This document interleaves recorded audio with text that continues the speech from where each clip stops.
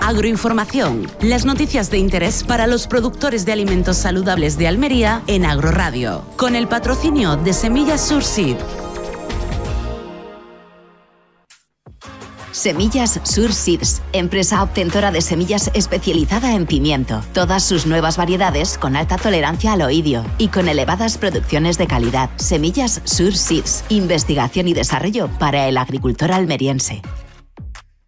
José Antonio Escobosa, redactor de Agroradio. La agricultura bien contada.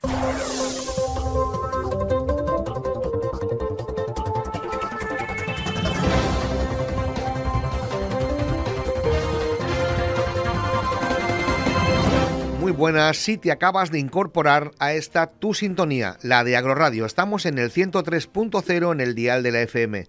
Aquí sabes que siempre intentamos darte la mejor información agrícola. Y ahora en Agroinformación hablamos de una reunión para acercar posturas.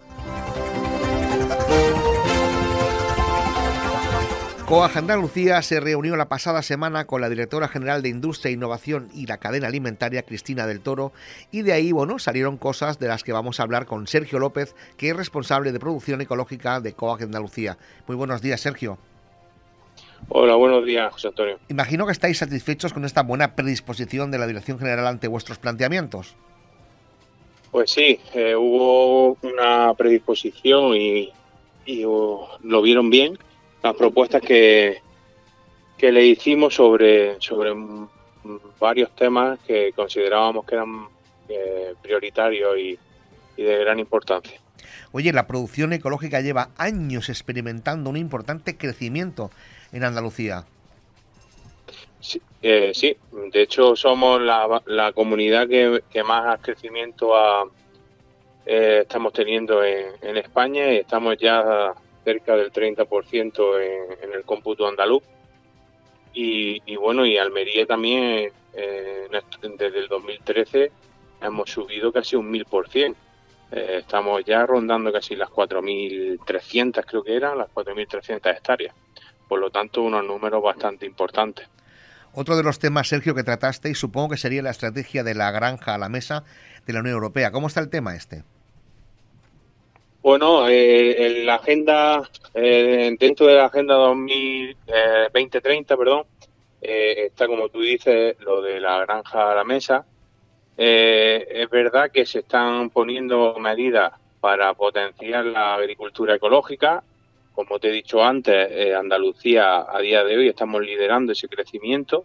En España se propuso o la Unión Europea tiene eh, como objetivo mm, pasar a un 25% de la superficie agraria eh, en ecológico nosotros estamos en el cómputo andaluz en un 29%, por lo tanto mm, hemos conseguido los, objetivos, pero eh, nosotros sobre todo lo que focalizamos fue que ese crecimiento está muy bien, pero ese, ese crecimiento hay que consolidarlo y ese, ese crecimiento hay que mantenerlo en el tiempo y, para eso mm, todas las propuestas que le hicimos a la directora general.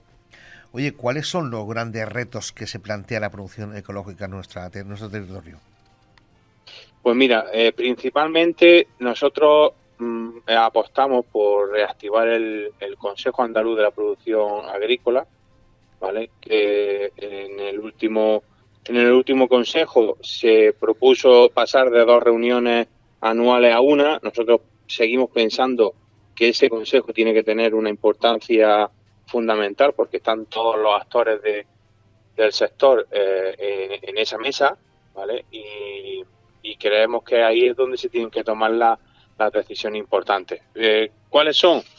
Pues principalmente eh, la, evolución de la oferta y demanda, nosotros tenemos que tener en cuenta que con esta crisis eh, alimentaria mm, muy probablemente la demanda se vea no disminuida, pero sí mermada y, eso nosotros tenemos que tenerlo en cuenta. Luego hay otros retos, por ejemplo, como el tema de las certificaciones de insumos. Estamos muy preocupados con ese tema, sobre todo por contaminaciones indirectas de, esas, de esos insumos que los agricultores utilizamos con la seguridad de que tiene un sello ecológico o un sello de una certificación ecológica y algunas veces, no siempre, pero sí algunas veces, nos encontramos con problemas de contaminaciones indirectas mm, derivadas de esos insumos y eso hay que ponerle control. Eh, otro, otro tema importante que vemos es el tema de eh, el fraude en la comercialización. ¿vale? Eh, en fruta y hortalizas se está haciendo un trabajo bastante bueno, pero hay otros sectores en alza y en crecimiento que también hay que seguir controlando, ¿vale? Porque mm, pues, la mayoría siempre vamos a hacer las cosas bien, pero siempre hay una minoría que se quiere aprovechar de ese crecimiento y eso hay que eh, ser bastante contundente en ese aspecto. Oye, Sergio, ¿os, parece bien la decisión de reactivar y dar más protagonismo a, al IFAPA en las investigaciones que necesita el sector? Correcto. Eso, ese fue otro punto importante. Creemos que es un acierto. Creemos que es un acierto porque hay mucha incertidumbre eh, con, varios aspectos, sobre todo eh, de tema de contaminaciones indirectas, ¿vale? Eh, que muchas veces los agricultores estamos indefensos porque tenemos que justificar de dónde viene esa contaminación y no está claro, ni la administración tiene claro de dónde viene. Entonces los IFAPAS tienen que ser un actor activo para, para conseguir que, bueno, que sepamos y se pueda sancionar al que lo hace mal y, bueno, y tener una flexibilidad con aquel que no, no lo ha hecho, que por circunstancias eh, ha tenido ha tenido pues esa contaminación indirecta de la que estamos hablando. Eso pasa en, muchos en muchos sectores, hay mm, excepciones en muchos en muchos sectores, pero aquí en Andalucía todavía es verdad que tenemos tenemos un trabajo importante que hacer en ese sentido. Oye, desde COAC Andalucía habéis solicitado estar presentes y participar en esa nueva ley de fomento de la producción ecológica. Claro, eh, principalmente porque nosotros mm, podemos dar eh, o podemos eh, centrar en las necesidades reales que tienen los productores. Evidentemente tienen que estar, entrar todos los actores de la cadena porque bueno a todos nos influye, pero creemos que somos un actor importante para, para reflejar las necesidades de los productores. Pues Sergio López, responsable de producción ecológica de Coaja Andalucía, te damos las gracias por atender la llamada siempre de Agroradio y por eh, contarnos lo que allí aconteció en esa reunión, para acercar posturas. Muy bien, muchas gracias a vosotros por, mostrar interés en la producción ecológica. Gracias. Ya saben que pueden seguir toda la información agrícola en redes sociales como Twitter, Facebook o nuestra web agrodifusión.es en el control de sonido. André Musnoy al micrófono este que te habla, José Antonio Escobosa Llobregat. Volvemos en una hora con más información.